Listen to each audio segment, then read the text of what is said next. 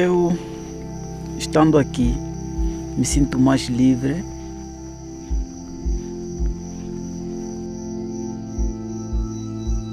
Eu conheci essa área em tempo de guerra. Eu fui raptado pela mão dos guerreiros. Então, assim que eu passei a ser, passar a tripular as canoas, com os material para descer com os rios e conhecer mais as lagoas, para embarcar as coisas nas lagoas e para não ser encontrado pelos inimigos.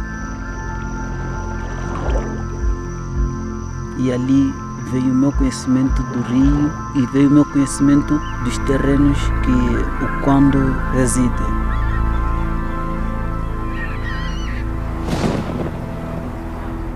Terra do fim do mundo. Land at the end of the earth. It is the great unknown.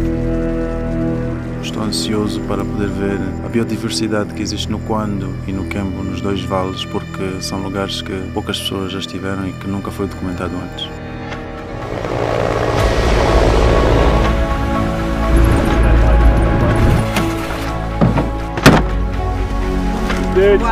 Como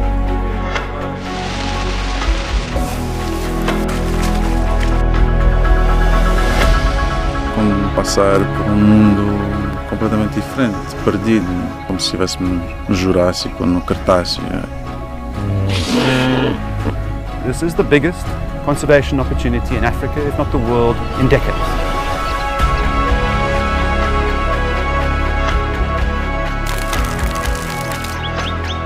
Precisamos de conservar os animais, levar a floresta, sabendo qual é o uso que é mais importante para nós conservar esse território,